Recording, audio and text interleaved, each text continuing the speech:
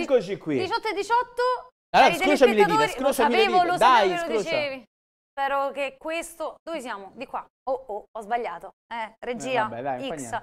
Allora, questo è il momento decisivo. È il momento decisivo perché? Perché parliamo di cultura generale. Anzi, anzi, parliamo di arte. Senti qui che musica. Che bello, che bello, che bello. Ne parliamo con un ospite in studio, è un piacere averla qui, Costanza Alvarez De Castro. Buonasera. Buonasera.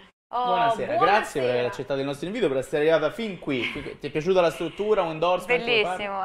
I colori? Anche i colori. Come anche i colori? No, i Eh, colori bisogna, meno. chie- no, bisogna chiederglielo perché Mamma. è lei che deve darci il parere, non tu, Giusto. ti ricordo. Ma non è sola qui, non è sola perché in collegamento abbiamo Massimo Scaringella, un critico d'arte. Buonasera Massimo. Buonasera a voi. Ok, Massimo, vediamo se riusciamo a, a sistemare il- l'audio perché lo sentiamo un po' disturbato. Quindi. Forse con le cuffiette potrebbe con le cuffiette andare potrebbe meglio. andare meglio. Allora, Però vabbè, vediamo così. partiamo dalla nostra artista, partiamo dalla nostra pittrice. Come è nata questa passione? Allora, la passione forse c'è da, da sempre, eh, però poi ho- all'università mi sono laureata prima in economia, quindi diciamo che poi si è sviluppata dopo, prima con la scenografia eh, nel mondo del cinema e, e poi lì dalla scenografia poi ho lavorato in teatro e poi dopo è arrivata la parte Quindi se vuoi di dare una mano anche qui per la scenografia, insomma, noi siamo pronti. Ti piace? È bellissimo. eh? Eh, ha, Assolutamente. detto, ha detto di sì, ha detto che gli piacciono anche i Quindi colori. mi dici non insistere, Non altrimenti insistere, penso... se no... Bene, Eh, però io sono convinto di un, di un- di un fatto, tu dici io, a me è partita da, da subito, da sempre ho la passione per, per la pittura. Quando te ne sei accorta? Quando è quel giorno? Cosa Che hai stavi scoperto facendo? il talento. Esatto, ricordi. Il giorno che ho scoperto il talento, sì, è molto preciso. Avevo- stavo cercando di fare un concorso per entrare a una scuola eh, di scenografia per la Scala a Milano Sì? e tra le varie prove c'era un disegno dal vero e io non è che disegnavo, ma non tantissimo e quel giorno mi ero allenata per fare questo concorso e lì ho scoperto che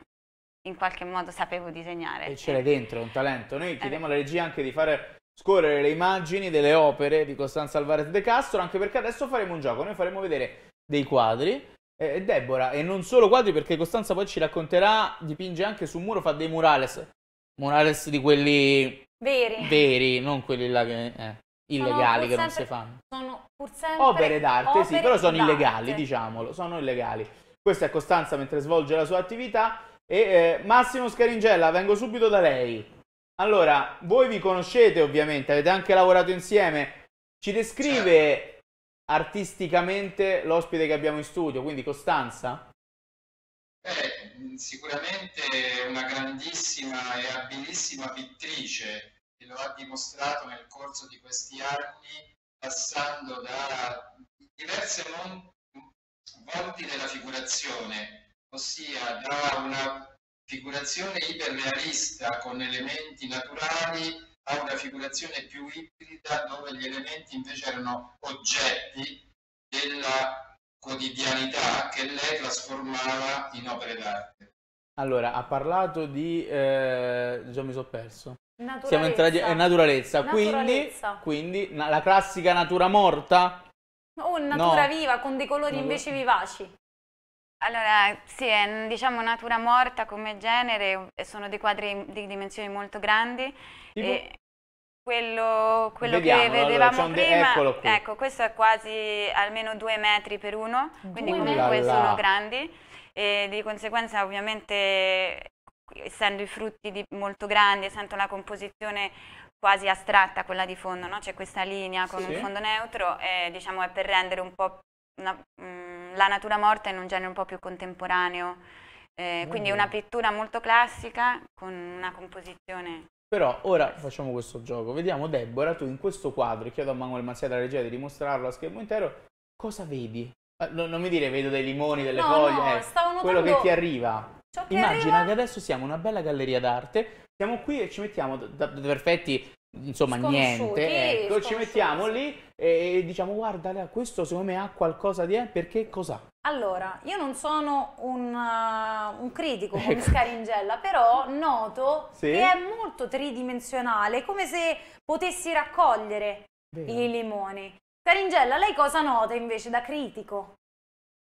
Eh, si nota intanto appunto una dimensione, una concretezza del, del, dell'oggetto e non un appiattimento come normalmente sarebbe in una pittura eh, di tipo differente. Questo orizzonte che c'è dietro e che sapientemente eh, l'artista ha dato, gli dà questa tridimensionalità come se fosse un oggetto appunto che si può toccare. Ed è quello proprio l'artefice della pittura di Costanza. Costanza, quanto hai impiegato a livello di tempo per poter realizzare quest'opera, ma soprattutto per dare la tridimensionalità. La tridimensionalità, cioè è un contesto oltre. Cioè, come hai fatto a vedere, a immaginare i limoni cercare anche il modo in cui farli, le dimensioni per rendere tutto omogeneo. Allora, la, la, composizione si pensa, cioè la penso prima. Eh, I limoni eh, li, ho raccol- cioè, li, ho raccolti, li ho messi in una, li ho composti sul tavolo e poi li ho fotografati perché ci metto tipo un mese e mezzo e quindi eh, ovviamente i limoni dopo un po' si, eh, certo. si rovinano, per cui eh, però parto da una composizione che faccio effettivamente, fotografo e poi porto... E questo è con tutto? Questo è con quasi, tu, quasi tutto, quasi que- tutto, alcuni, quel, quello della giungla, sì, quello lì per esempio, ecco. è, è, questo non è, questo è inventato, è un paesaggio inventato. Per Quindi cui non, non hai nessuna immagine davanti, tu qui no. non, non direi a occhi chiusi, anche se non è così, però Vai.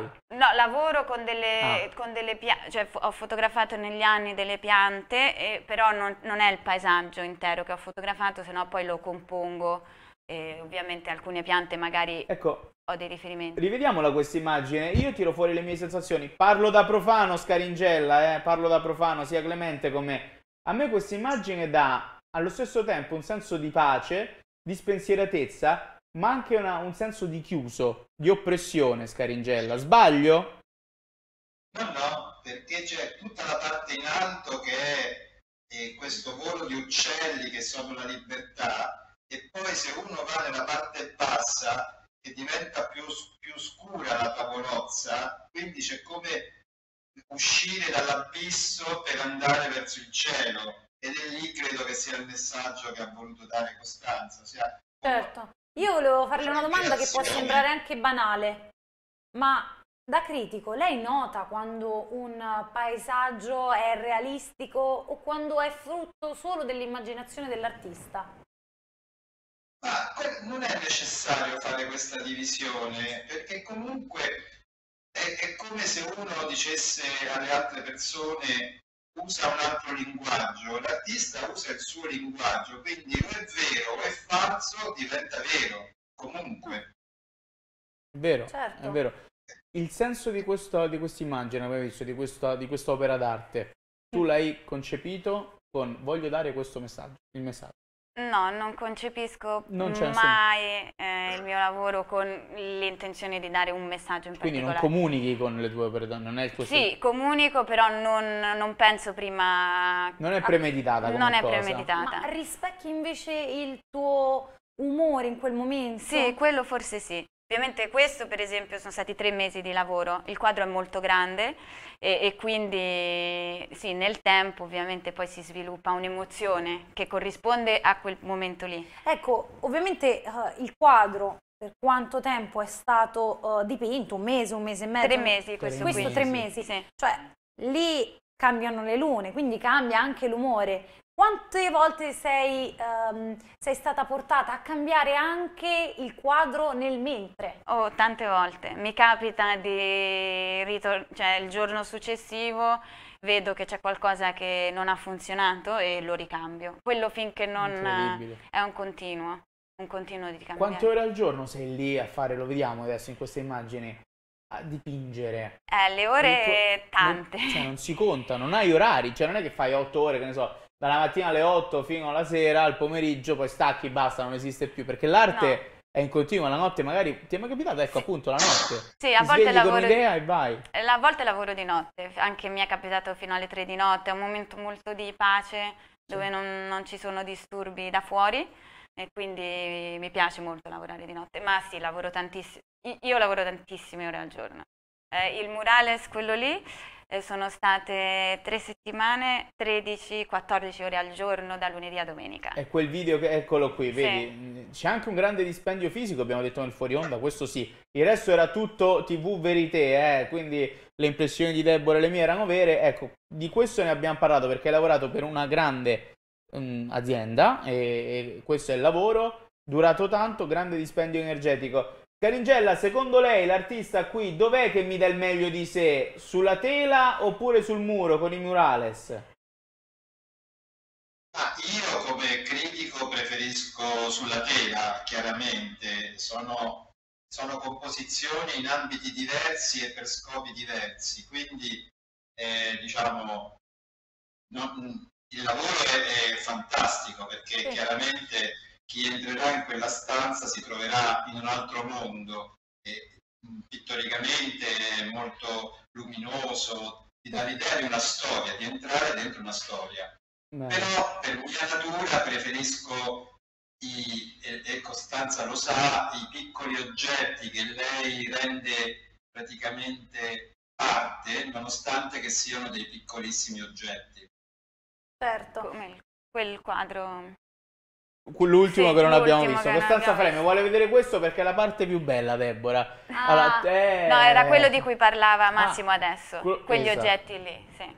Allora, ce n'è un altro che abbiamo visto nel fuori onda. Lo vediamo, chiediamo alla regia. Eccolo qui. Eccolo. Allora, voi telespettatori, e qui io aprirei addirittura le telefonate, senti un po' che ti dico, quasi quasi. Apriamo le telefonate 0689 320032. Che cos'è? Ma soprattutto è un dipinto o è un oggetto? O è qualcosa di reale? Non Perché io ancora non l'ho capito se è un dipinto oppure Allora, io vedo da una parte, nell'immagine di sinistra, Deborah, dimmi se sbaglio, devo chinare un pochino il capo, un coniglio.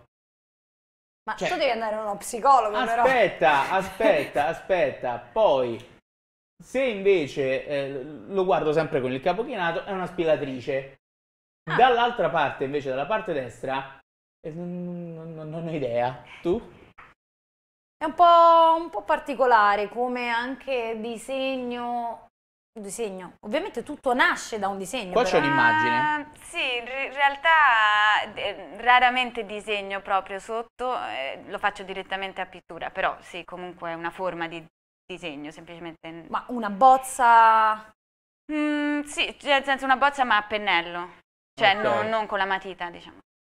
Quindi quanto cambia anche a seconda del- dell'artista, il modo di Assolutamente fare, sì, il modo di, assolutamente di mettere sì. anche su carta, su un foglio, le proprie emozioni. Sì, questa è una tela, però sì, comunque è la stessa cosa. Che Io- sia carta o tela. Ecco, la differenza.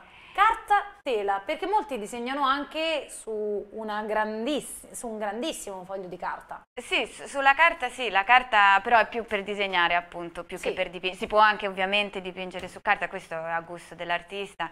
Le, le tele è più facile fare grandi dimensioni magari rispetto alla carta che comunque non esiste di grandissime dimensioni, però sempre un lavoro che entrambi.